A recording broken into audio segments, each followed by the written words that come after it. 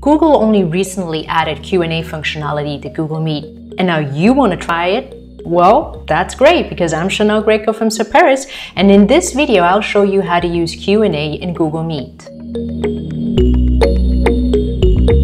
Okay, so we now have a Google Meet call. Three people are logged into this call, and um, Jane example. So here the purple browser, Jane's the organizer of this um, event of Google Meet call. So she's the person who then also re will receive the information, who can um, uh, mark the questions as answered, and so on and so forth. So Adam here has a question.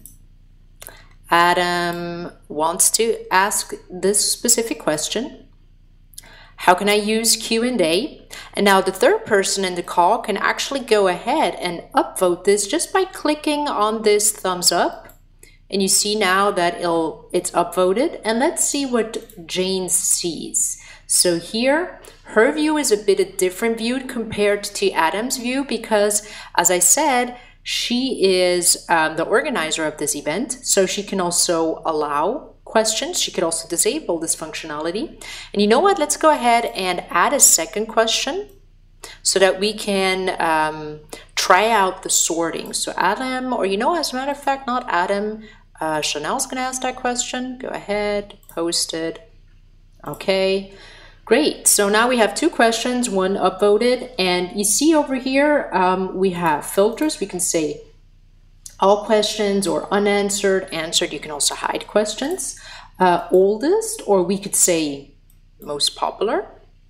Okay, because Adam's question was upvoted, so that's the most popular. And once this question has been answered, we can just simply mark it as answered. And you see here how also Adam's view, his question gets marked as answered. And we can do the same thing down here. And now this is also marked as answered. Okay, so um, Jane herself could also ask a question. Do you like, I don't know, Q&A? Like maybe? There you go. Post this question so you see also the the initiator of this Google Meet call can also um, ask questions. Let's say that Adam upvotes this, and you should see this over here. And let's go ahead and hide this just so that we see what happens. The question is now hidden, which is interesting. Now it's gone here too. It took um, a very uh, a couple of uh, split seconds, and now it's gone here. Okay, so that's during the meeting. Um, what's the situation once the meeting has passed once everyone has left the call? How does it look then? Let's have a look at that.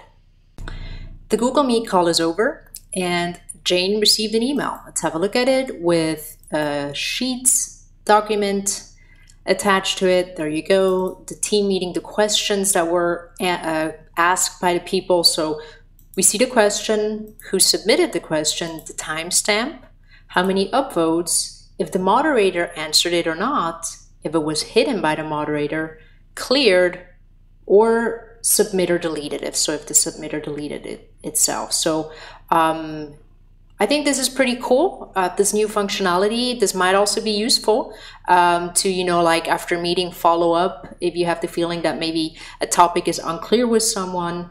Um, and if you know who submitted the question, you might get back to them. Would you mind subscribing to my YouTube channel by hitting the subscribe button below? Because every week I publish new video tutorials about Google Meet, Google Jamboard, and the other apps that are part of Google Workspace, and I wouldn't want you missing out on any of those tutorial videos.